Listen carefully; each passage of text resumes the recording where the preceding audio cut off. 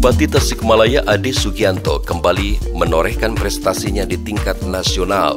Orang nomor satu di Kabupaten Tasikmalaya itu dianugerahi penghargaan berupa Lencana Bakti Pembangunan Desa dari Kementerian Desa, Pembangunan Daerah Tertinggal dan Transmigrasi Republik Indonesia, Kemendes PDTTRI. Penghargaan tersebut diberikan langsung oleh Sang Menteri Abdul Halim Iskandar di Lombok, Nusa Tenggara Barat pada Jumat 24 November 2023 kemarin. Lencana bakti pembangunan desa ini diperoleh atas dedikasi serta komitmen Ade Sugianto dalam mendukung pengembangan desa wisata yang ada di Kabupaten Tasikmalaya.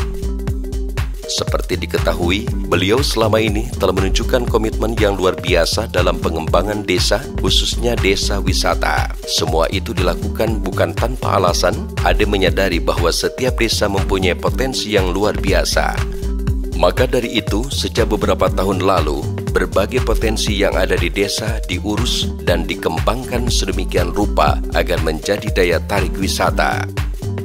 Berbagai pembangunan infrastruktur pendukung pun dilaksanakan. Walhasil dari semula hanya ada satu desa wisata, sampai saat ini sedikitnya sudah terbentuk 92 desa desa wisata yang ditetapkan melalui SK Bupati Tasikmalaya. Adanya komitmen luar biasa dalam pengembangan desa wisata ini nyatanya telah berdampak besar terhadap indeks desa mandiri atau IDM. Dari tahun ke tahun, jumlah desa maju dan mandiri di Kabupaten Tasikmalaya terus meningkat seiring tumbuhnya desa wisata. Tercatat pada tahun 2021 lalu, jumlah desa mandiri di Kabupaten Tasikmalaya hanya ada 22 desa. Pun dengan desa maju, jumlahnya hanya 65 desa, sementara desa yang tertinggal masih ada 8 desa.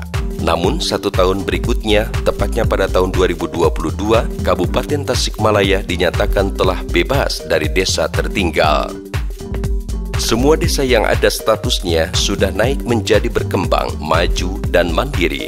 Peningkatan indeks desa mandiri itu bahkan terus berlanjut sampai tahun 2023 ini. Tercatat desa-desa yang semula statusnya masih berkembang pada tahun ini sudah berhasil menyandang status maju, bahkan mandiri dengan rincian 173 desa maju dan 55 desa mandiri.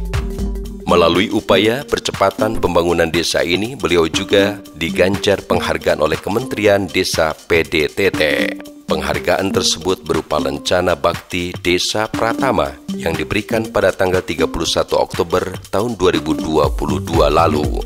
Semua keberpihakan yang diberikan oleh Ade Sugianto terhadap desa tentu saja semata-mata untuk kepentingan masyarakat serta sejalan dengan misinya, yakni mewujudkan desa sebagai pusat pertumbuhan ekonomi kerakyatan berbasis pariwisata dan pertanian.